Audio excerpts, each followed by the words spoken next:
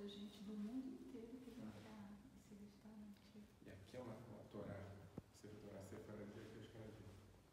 É? Hum. O conhece essa cabala? Eu escrevi no Gustavo. E aí quando ele, ele veio para cá antes da edição, antes, ah. e ele veio para o Hum. E criou uma sinagoga no Tzfá.